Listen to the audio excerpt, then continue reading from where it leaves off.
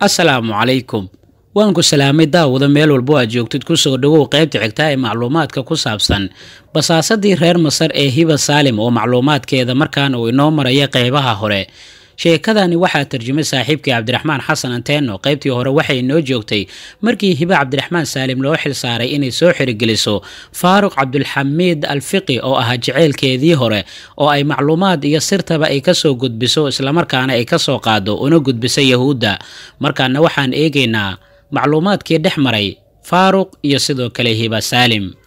hiba saalim durba waxay bilowda howsheedii loo xil saaray waxaana ay qadka telefoonka ay kala xiriirta faaruq salaam iyo iswaraysi kadibna faaruq waxaa la yaab ku noqotay in hiba saalim ay tahay qofka soo wacay oo xiriirka la soo sameeya waayo marnaba qalbigiisa ma uusan aaminsanayn in qofka la hadlaya iyada ay tahay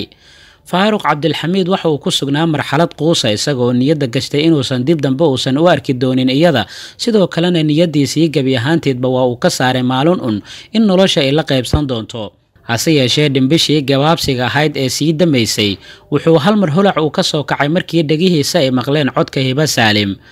ma jirtaa wax ka macaan badan qofka aad jeceshahay. Qoosna aad ka joogtay xilli aad isdhiibtay uu ku soo waco si uu dareenkaadii uu dib uu ugu soo nooleeyo. Waa arrin naadir ah balse waa dareen xooggan oo wakhtigaasi uu ku sugnaa faaruq balse ma oga khiyaanada isaga lala maagan yahay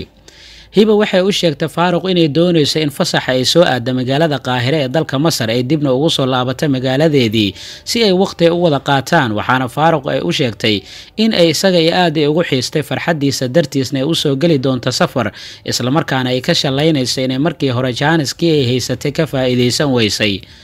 faaruuq marnaba ma uusan rumaysan karaynin hadallada ka soo yeeraya hibe ee qalbigiisa sida fallaaraha uga dhacaya wuxuuna qarka u saarnaa farxad daraaddeed inuu la suuxo isagoona hibe u sheegay inuu soo dhoweyn doono islamarkaana uu jaceylkiisii hore mid ka weyn uu u qaba haatan. Sidaasi daraaddeedna maalintay dib ugu soo laabata qaahire u noqon doonto maalintii ugu farxadda badneed noloshiisa faaruuq marnaba kama uusan fikirin sababta kalifayn haatan ay soo xiriirtay hiba cabdiraxmaan saalim. Waayo kuma uusan jirin marxaladda uu ku fikiri karayay. Ilaan gabadhii uu jeclaa ayaa dib ugu soo laabanaysa. Marka maba jirto wax kale uu ka fikiro iyada uun ayaa waqtigaasi niyaddiisa ku jirtay. Waxaad moodaa garaacii wadnihiisa inuu ku sii batay sida ruuxii uu jeclaa oo dib uu u helayo.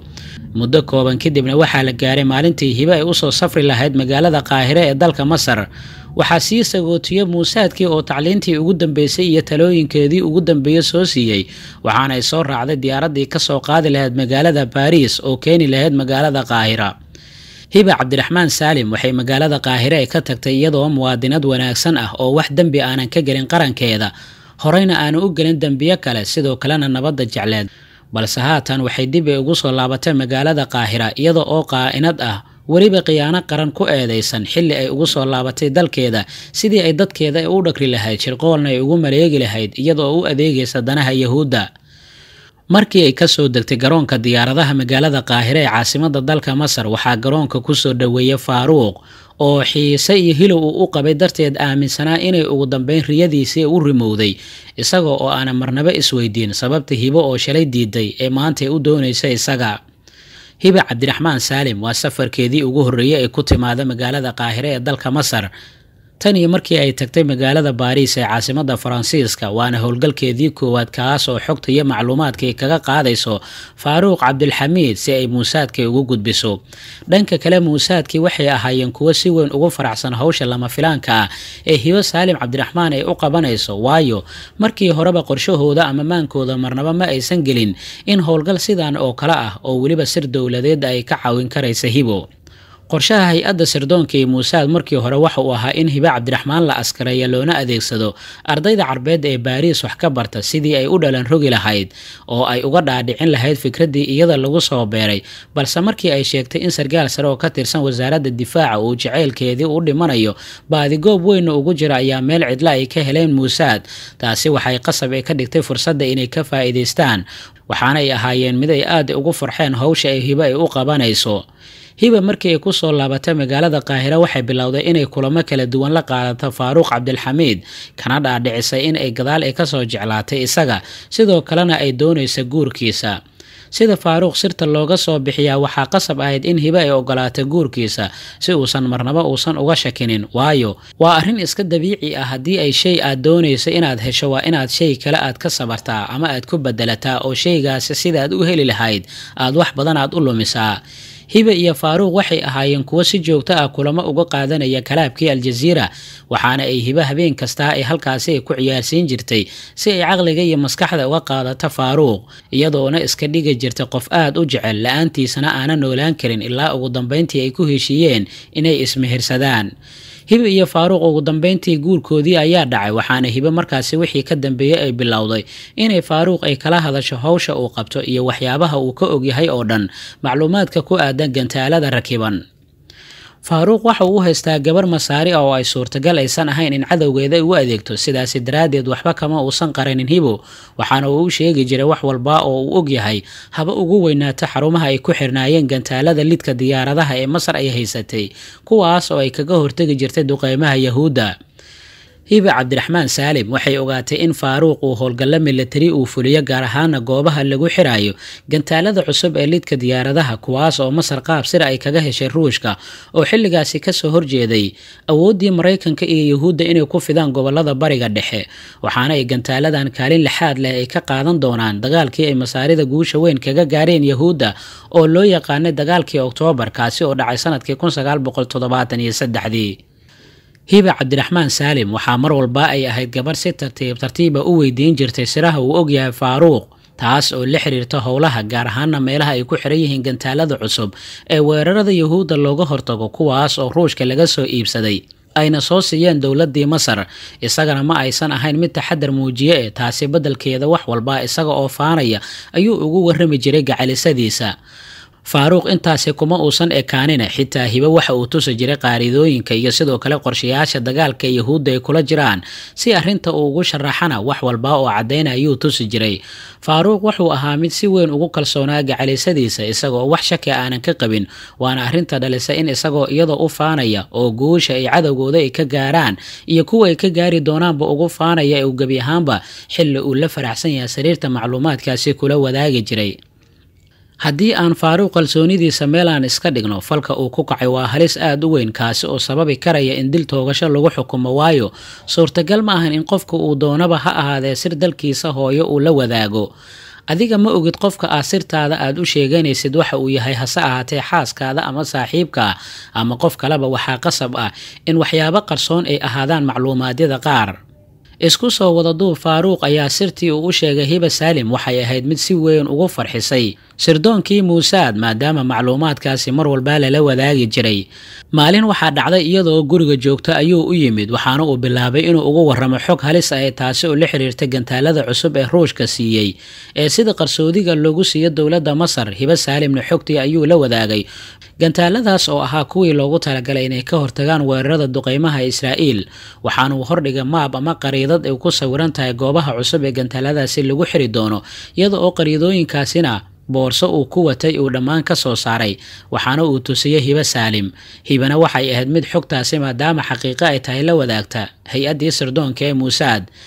hiba waxay si deg dega ula xiriirtay muusaadkii ku sugnaa magaalada baariis ee dalka faransiiska waxaanay u sheegtay inay u soo dirayso macluumaad xasaasi ah maadaama ay haysatay qalab ay kula xiriirto saraakiisha sirdoonka weliba macluumaadkaasi waxay u sheegtay inuu ahaa mid aanan caadi ahayn. Baariisna waxaa geeya jaajuus kale oo muusaad ka tirsanaa kadibna waxaa loo diray magaalada talaabiib si loo xaqiijiyo haddii xogtaani ay xaqiiqo ay tahay iyo haddii kale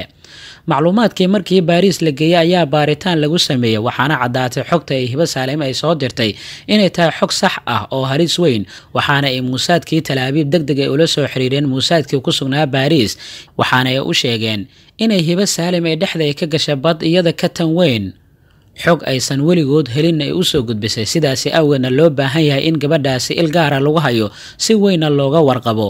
muusaadkii ku sugnaa magaalada talaabiib waxay dadkii ku sugnaa magaalada baariis waajib ay uga dhigeen ilaalinta iyo ka warqabka hiba saalim maadaama ay u soo gudbisay xogtaasi xasaasiga ah oo marnabo aysan filaynin.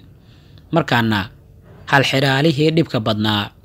kadib markii hiba saalim ay dirtay xogtaasi xasaasiga ahayd waxaa dhacday in markii la rakibay gantaaladii loogu talagalay ka hortaga duqeymahooda ay bartilmaameedka ay ka dhigtaan gantaaladaasi yahuuddii waxa ay toos ay u abbaareen goobihii gantaaladaasi ay ku xirnaayeen iyaga oo duqeyn toosa la dhacay waxaanay ku guulaysteen burburintii goobihii ay ku rakibnaayeen gantaaladii lidka diyaaradaha ahaa mar kasta oo gantaal cusub la rakiba ayaa horey laga garaacayay xitaa iyadoo oo aysan qalalin. Shamiindadii ama sawirkii lagu dhisay iyada oo arrintaasi la yaab ay ku noqotay dowladda masar waxaana dhacday in si weyn dadka qaar looga shakiyo. Waxaa la isweydiiyey yuhuudda sida ay ku ogaatay goobta ay gantaaladan ay ku rakaban yihiin sida ay ugu suurto gashay inay mar kasta oo la rakibayo ee horey ay ka soo duqeeyaan iyo sidoo kale sida ay ku helaan macluumaadkaasi xasaasiga ah waa su'aalo mug weyn taasi oo la isweydiiyey waxaana tuhun weyn laga qaaday. Inay jiraan mas'uuliyiin ka tirsan wasaaradda gaashaandhigga kuwaas oo jaajuusiin u ah israa'iil islamarkaana siraha dowladda u gudbiya waxaana masar ay bilowday inay guud ahaan saraakiisha wasaaradda difaaca ay noqdaan. Kuwa shaybaarka hoostiisa la dhigay oo baaritaano lagu furo xitaa waxaa baaritaankaasi ka marnayn. Wasiirka difaaca ee dowladda masar oo isaga qudhiisa baaritaanka laga bilaabay.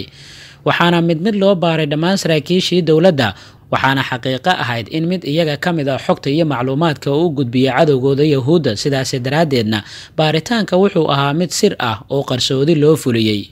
Arrintii waxay faraha la gashay sirdoonka maadaama sirdoonka muusaad ay lug ay ku soo yeesheen arrintaasi waxaana qasab noqotay in meesha loo banneeyo sirdoonka dowladda masar si baaritaanka ay u soo galaan iyagoo xukuumadda gebi ahaanteedba bannaanka la iska dhigay waxaana bilowday dagaalkii basaasiinta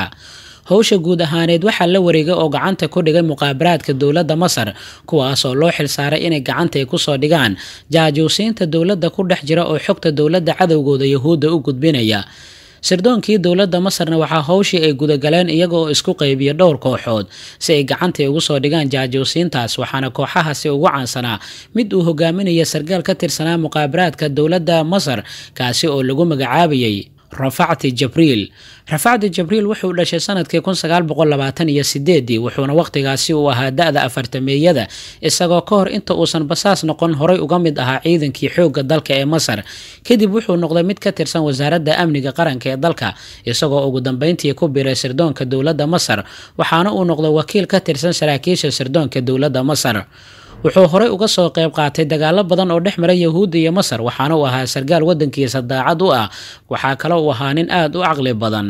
oo kaartadiisa ay aad u weyn tahay.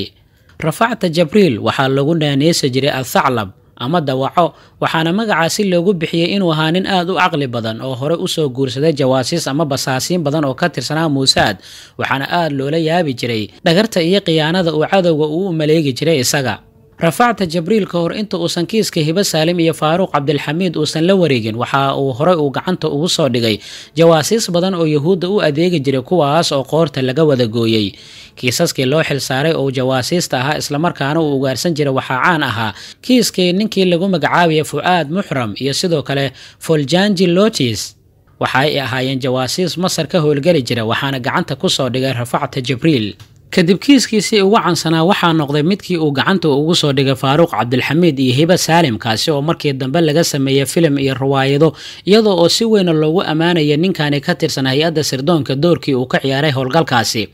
allah u naxariistay master jibriil wuxuu geeriyooday afar iyo tobankii desembar laba kun iyo sagaalkii isaga oo siddeetan iyo kow sano jir ah. Sidoo kalena waxa uu gadaal uu ka noqday taliyaha guud ee sirdoonka masar. Waxaa kaloo uu ku guulaystay bilado badan oo ay qeyb ka yihiin labada biladood ee ugu sarreeya oo ay bixiso dowladda masar. Dhanka kale hiba saalim waxay ahayd mid qarshaheedii ku taagan iyadoo xog kasta ay ka heshay faaruuq cabdilxamiid u gudbin jirtay hay'addii sirdoonka ee muusaad wuxuuna faaruuq u ahaa mid aanan wax yar haba yaraatee dhagarta ay hiba u maleegaysa ana waxba ka fahmin oo qabarmoog ahaa. Waxaa kaloo uu la wadaagi jiray macluumaad kasta isaga oo daacad ah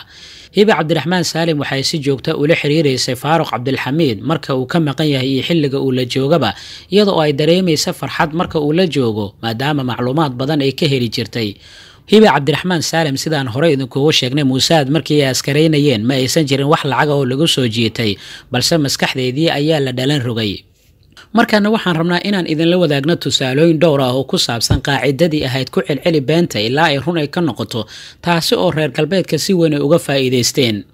waayo dad badan ayaa waxay iminka ay aaminsan yihiin in maraykanka uu yahay dal nabdoon hogaankiisana nabadda adduunka ay ka shaqeeyaan. Dhinaca kalena waxaa laga dhaadhiciyaa kuuriyada waqooyi inay halis ay ku tahay wadamo badan oo dunida ah. Markan waxaan eegaynaa tusaalooyin dhowr ah oo ku aadan weeraro maraykanka uu fuliyey iyada oo aanan weliba loo aqoonsan inuu yahay dal dhibaato geysta. Sidoo kalena in islaamkii laga dhigay in ay yihiin sida dad argagixiso ah ama dhibaato geysta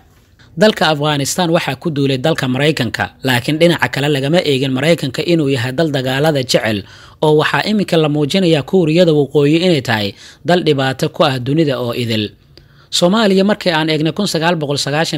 maraykanka ayaa ku soo duulay oo ma aysan jirin wadamo kale oo ku soo duulay. Sidaas oo ay tahayna maraykanka marnaba ma uusan muujin inuu yahay dal dagaalo iyo dhibaato ka geysanaya soomaaliya. Magaalooyinka horoshima iyo najazaki oo ka tirsan dalka jabaan newglerkii ugu horreeya waxaa ku garaacay dalka maraykanka. Haddana dhinaca kale ayaa mar walba laga tusinayay. Sidaas oo ay tahay waxaa wadamo badan oo islaam iyo kuwo aanan ahaynba loo muujiyaa dunida ama loogu celceliyaa inay dhibaato ku yihiin caalamka. Haba ugu badnaatay xiisada dagaaleed ee hadda u dhexaysa kuuriyada waqooyi iyo maraykanka.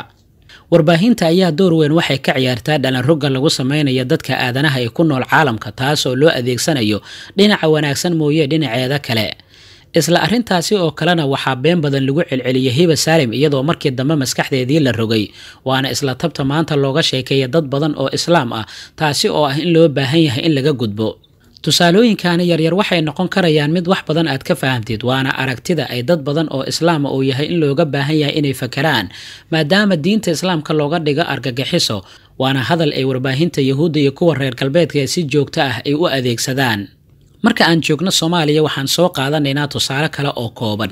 gobollo badan oo waxaa jira ay kenya iyo etoobiya ay kala haystaan oo ka tirsanaan dhulkii soomaalida. Laakiin waxaa lagu celceliyey dowla deegaanka soomaalida etoobiya iyo erayo kale oo dhowr ah waxaana markii dambe ay noqotay in dadka xitaa ay aaminaan in deegaankaasi uu ka tirsan yahay etoobiya sidoo kale waxaa ka mid ah gobolka n f d oo marar badan lagu celceliyo gobollada waqooyi bari ee dalka kenya oo ah gobolka n f d oo soomaali ay lahayd soomaalina ay degan tahay. Marka sidaasi oo kalena been badan lagugu celceliyo dadka waxay moodaan inay run tahay maanta halkaa inoo joogta qaybta sheekadan. Waxaan filayaa inaad ogaateen macluumaadyo badan. Cabdiraxmaan xasan anteena ayaa sheekadaani tarjumay. Qaybtan qaybta xigta intaan ku kulmi doono waxaa idinkaga tegayaa sidaa iyo nabadna waxaa idinkaga